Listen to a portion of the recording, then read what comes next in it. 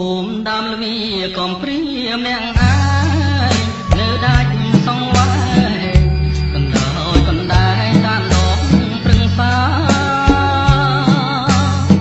ក្បែរស្ទឹងទឹកហូកាន់ដងតែឡាហាងចេញវាចាអងវខ្ញុំថាកំដាច់ហាឡៃរសៀលទុនទាខ្យល់បងពីភ្នំ សំលេងរៃយំនាំឲ្យចិត្តខ្ញុំរន្ធត់ពេលក្រៃបាក់សៃបាក់សាប្រពំដងត្រីបំពេលមុំស្រីខណ្ដាលទ្រូងព្រៃសូរិយាជ្រៀងជ្រេស្រនងជើង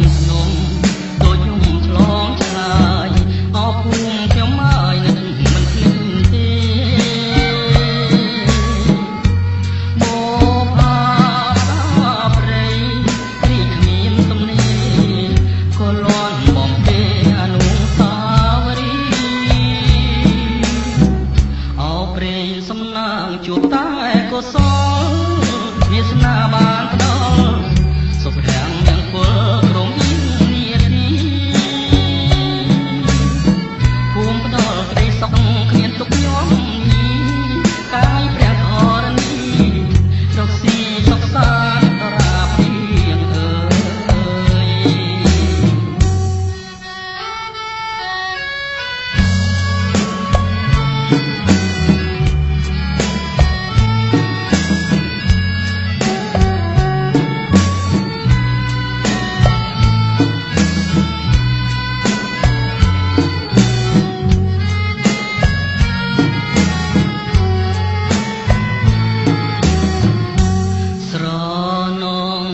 ជើងនំ